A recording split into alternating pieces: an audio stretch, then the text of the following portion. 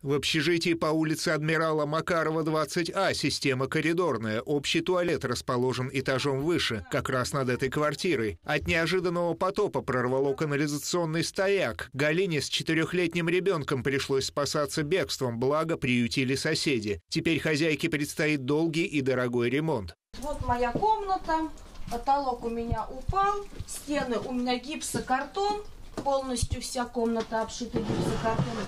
Пострадала у меня диван, детский диван, на котором у меня ребенок спит, дочка маленькая, 4 года.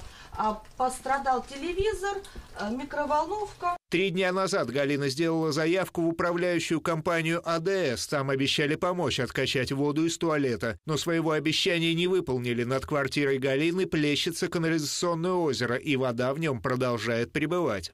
Вот эта вот вода находится над моей квартирой, которая в результате окажется у меня. На третий день ожидания Галина еще раз пришла в управляшку, чтобы напомнить о своих проблемах. На этот раз вместе с нашей съемочной группой. Однако офис коммунальщиков как будто вымер. Пустые коридоры и запертые кабинеты.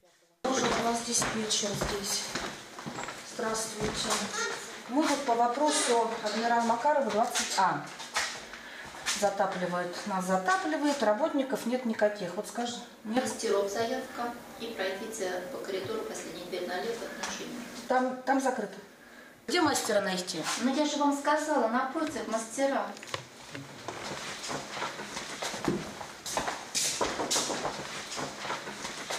Все, приехали.